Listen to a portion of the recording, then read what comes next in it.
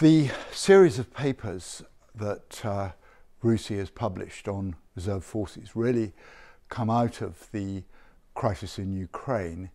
Um, it's become very clear to governments across NATO and more widely that we desperately need more defence, we need more capability, we need more mass, and we need to reach into new technologies. But at the same time, there's a great shortage of money.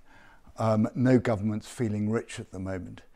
And so all the major NATO countries and our English speaking allies are looking at reserve forces as a way of providing more capability at an affordable cost. I think the main point is the reserves are part of what we spend on defence, not as an add on, but as an essential way in which we defend this country and help our allies abroad. When I joined the Air Force many years ago, there were over 100,000 uniformed airmen.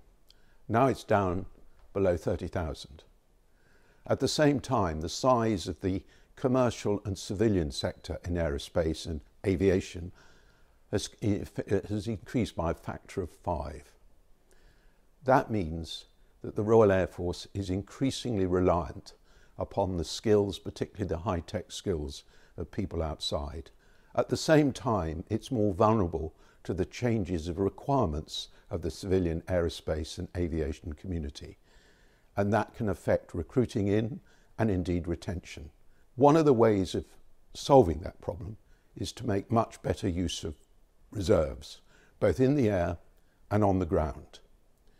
We need to ensure that there's a much more flexible way of getting people back into the Air Force through the reserves after they've left. And equally, we must ensure that we look at how we use reserves from the outset and not as an add on to a particular programme. Of the Five Eyes, the United States, New Zealand, Australia, and Canada, we have by far the lowest level of reserves in relation to the number in the regular forces. I think of the lessons that we've learnt across these papers. Perhaps the most important is that for land forces anyway, reserves need to be the second echelon. They need to be what comes after a large part of the regular force has been killed or, or worn out, rather than what we rather degenerated into in Afghanistan, which is simply using reservists uh, to fill places, mostly in junior ranks in the regular army. I think on the uh, naval side, one of the things that we've found is that once again, just as we did in the 1930s, Britain has neglected her coastal and littoral um, defences. We focused on a blue water navy. It was all about battleships then. It's aircraft carriers and escorts now. Um, but while the Germans, of course, were building up an E-boat force who were able to hammer us around our ports.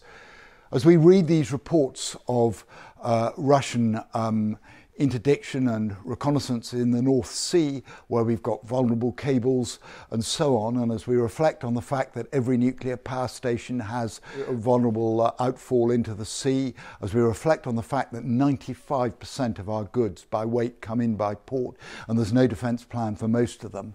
So we begin to see we need to do something about it, but the regular forces can't possibly afford to do it. We need more of a an armed RNLI as a response force. So I think the time is right now for us to be much clearer as to how we need to move forward to make use of skills outside the Air Force back inside the Air Force, primarily by a better use of reserves. Training of pilots is very expensive. We need to ensure that by using the reserves, we have a better return for the taxpayer on the cost of training them in the first place. And secondly, the only way we're going to deal with crises when they occur in terms of capacity and resilience is to be able to call on a much larger cohort of reservists to fill the gaps at home when the crisis is abroad, or indeed to follow up the area that is under threat as a second echelon to support the regular forces, which undoubtedly by that time will be overstretched.